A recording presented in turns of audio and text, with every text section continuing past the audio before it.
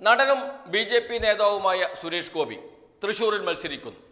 B J പിയുടെ സ്ഥാനാർത്ഥിയാണ്.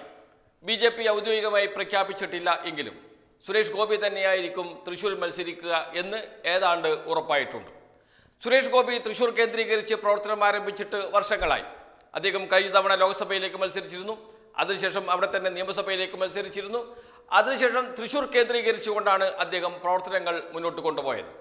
ഏറ്റവും ഒടുവിൽ ലോക്സഭ തെരഞ്ഞെടുപ്പ് വരാൻ പോകുന്നു എന്ന് അറിഞ്ഞ ഉടനെ തന്നെ അദ്ദേഹം തൃശ്ശൂരിലേക്ക് വണ്ടി കയറിയിരുന്നു.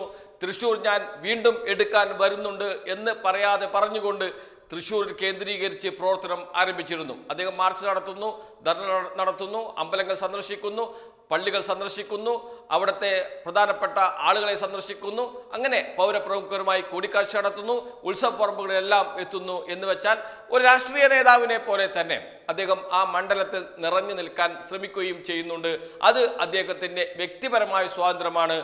ഏത് രാഷ്ട്രീയ പാർട്ടിയിലും അദ്ദേഹത്തിന് പ്രവർത്തിക്കാം. ഏത് മണ്ഡലത്തിലും അദ്ദേഹത്തിന് മത്സരിക്കാം. അതിലൊന്നും യാതൊരു എതിർപ്പും ആരും പ്രകടിപ്പിച്ചിട്ടില്ല. അദ്ദേഹം പക്ഷേ ഒരു മോശം കളി കളിച്ചു. അതാണ് ഇപ്പോൾ അദ്ദേഹത്തിനെതിരെ ഉയർന്നു വരുന്ന വിമർശനങ്ങൾക്ക് അടിസ്ഥാനം.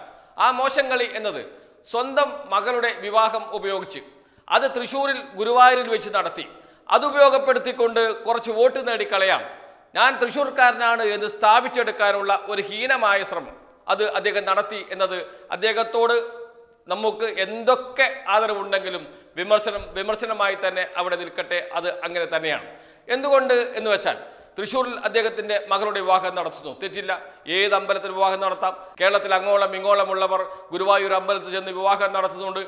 യാതൊരു തെറ്റുമില്ല. പക്ഷേ അദ്ദേഹം പ്രധാനമന്ത്രിയെ ക്ഷണിക്കുന്നു. അതിലും തെറ്റുമില്ല. പ്രധാനമന്ത്രിയെ ക്ഷണിച്ചുകൂടെ? പ്രധാനമന്ത്രിയുമായി ഏറ്റവും അടുത്ത ബന്ധമുള്ള ആളാണ് സുരേഷ് ഗോപി. അങ്ങനെ അടുത്ത ബന്ധമുള്ള ആൾക്ക് അദ്ദേഹത്തെ തന്റെ മകളുടെ വിവാഹത്തിന് ക്ഷണിക്കാം. ക്ഷണിച്ചതിൽ യാതൊരു തെറ്റുമില്ല. അതിൽ പങ്കെടുക്കുമെന്ന് പ്രധാനമന്ത്രി അറിയിക്കുന്നതോടുകൂടിയാണ് അദ്ദേഹത്തിന്റെ വീഴ്ച ആരംഭിക്കുന്നത്.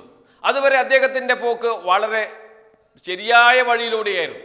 മകളുടെ വിവാഹം പോലും തന്റെ രാഷ്ട്രീയ നേട്ടത്തിന് വേണ്ടി ഉപയോഗിക്കാം. അത് കൃത്യമായ പാതയിലൂടെ തന്നെ മുന്നോട്ട് പോയിരുന്നു. അത് മൊത്തം തൃശ്ശൂരിൽ ഒരു ഇളക്കം ഉണ്ടാക്കുകയും അനക്കം ഉണ്ടാക്കുകയും ചെയ്തിട്ടുണ്ട്. പ്രാദേശികമായി ബി ജെ പി നേതൃത്വത്തിന് സുരേഷ് ഗോപിയോട് എതിർപ്പ് ഉണ്ട് എങ്കിലും ദേശീയ നേതൃത്വത്തിന്റെ അനുഗ്രഹാശീസുകളോടെ വരുന്ന സുരേഷ് ഗോപിയെ തള്ളിപ്പറയാൻ പ്രാദേശിക നേതൃത്വത്തിന് കഴിയില്ല സംസ്ഥാന കമ്മിറ്റിക്കും കഴിയില്ല എന്നത് ഒരു വസ്തുതയാണ്. കാരണം തന്റെ നേതാവ് ആര് എന്ന് സുരേഷ് ഗോപിയോട് ആരെങ്കിലും ചോദിച്ചാൽ അദ്ദേഹം രണ്ടുപേരുടെ പേര് പറയും.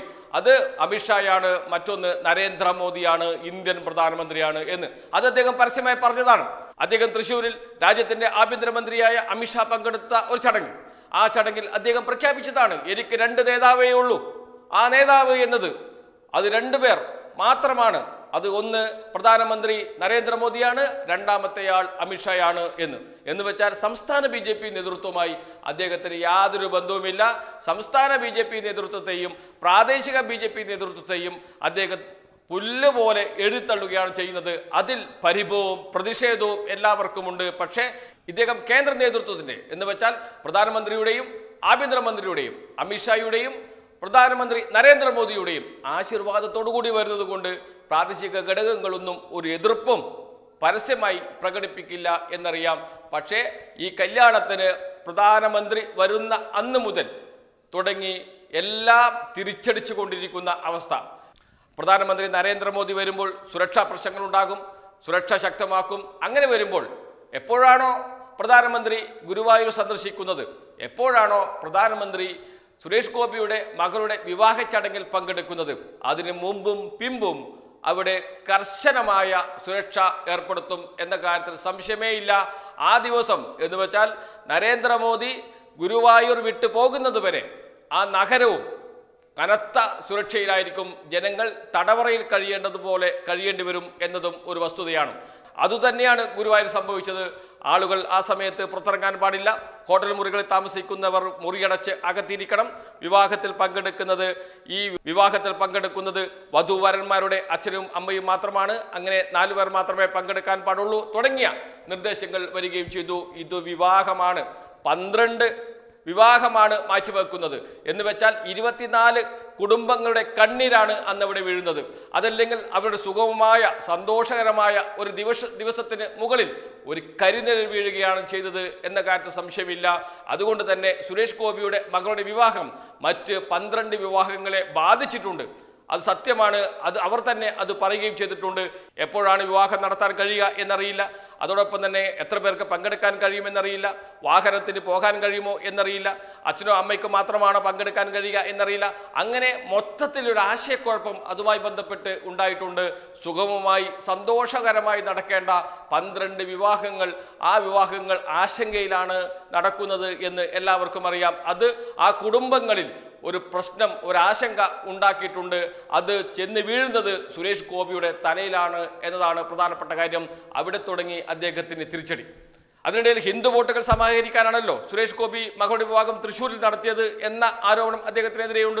അത് ഹിന്ദു വോട്ടുകൾ മാത്രം കിട്ടിയാൽ ജയിക്കാൻ കഴിയുമോ? കഴിയില്ല. അവിടെ ക്രൈസ്തവ വോട്ടുകൾ കൂടി കിട്ടണം. അങ്ങനെയാണ് അദ്ദേഹം ഒരു സ്വർണ കിരീടവുമായി ലൂർദ് മാതാ പള്ളിയിലേക്ക് പോയത്. ലൂർദ് മാതാ പള്ളിയിൽ വലിയ ജനക്കൂട്ടത്തെയാണ് അദ്ദേഹം പ്രതീക്ഷിച്ചത്. അത്ര വലിയ ജനക്കൂട്ടമൊന്നും ഉണ്ടായില്ല. പ്രാർത്ഥനാ ചടങ്ങുകളൊക്കെ നടന്നു. ഈ സ്വർണ കിരീടം ലൂർദ് മാതാവിന്റെ തലയിൽ വെച്ച് പ്രാർത്ഥന കഴിയുന്നതിന് മുമ്പ് തന്നെ ആ കിരീടം താഴെ വീണ് പൊട്ടി. സുരേഷ് ഗോപി ആകെ നിരാശയിലാണ്. നിമിത്തങ്ങളിൽ വിശ്വസിക്കുന്ന ആളാണ്. ഈശ്വര വിശ്വാസിയാണ്. അങ്ങനെയൊക്കെ ആകുമ്പോൾ സ്വാഭാവികമായും ഇതൊരു നിമിത്തമായി കണ്ടാൽ അത് ഒരു എതിർ നിമിത്തമാണ്. തനിക്ക് എന്തോ ദോഷം വരുന്നുണ്ട് എന്നതിന്റെ സൂചനയാണ് എന്ന് സുരേഷ് ഗോപി വിചാരിച്ചിട്ടുണ്ട് എങ്കിൽ അദ്ദേഹത്തെ കുറ്റം പറയാൻ കഴിയില്ല. ആളുകൾ അങ്ങനെ പറയുന്നുണ്ട് എങ്കിൽ പറയുന്നവരെ കുറ്റം പറയാൻ കഴിയില്ല. അത് വലിയ ചർച്ചയായി മാറുകയും ചെയ്തിട്ടുണ്ട്. അങ്ങനെ എന്തുദ്ദേശത്തോടു കൂടിയാണോ സുരേഷ് ഗോപി തൃശ്ശൂരിലേക്ക് വണ്ടി കയറിയത്? എന്തിനു വേണ്ടിയാണോ മകളുടെ വിവാഹം തൃശ്ശൂരിൽ വെച്ച് നടത്താൻ തീരുമാനിച്ചത്? എന്തിനു വേണ്ടിയാണോ പ്രധാനമന്ത്രി നരേന്ദ്രമോദിയെ വിവാഹത്തിന് ക്ഷണിച്ചു വരുത്തിയത്? അതെല്ലാം സുരേഷ് ഗോപിക്ക് തിരിച്ചടിയാകുന്ന കാഴ്ചയാണ് കണ്ടത്. അതായത് എന്ത് ഉദ്ദേശത്തോടു കൂടിയാണോ അദ്ദേഹം ഈ നാടകങ്ങളൊക്കെ കളിച്ചത് അതെല്ലാം അദ്ദേഹത്തിന് എതിരായി വരികയും അദ്ദേഹത്തിന്റെ മുഖം മൂടി അങ്ങനെ തന്നെ വലിച്ച് കീറപ്പെടുകയും ചെയ്യുന്നു എന്നതാണ് ഈ സംഭവങ്ങളുടെ ഒക്കെ ഒരു ആകെ തുക ആകെ നിരാശനായി ആ പള്ളിക്കകത്ത് ഇരുന്ന സുരേഷ് ഗോപിയുണ്ട്.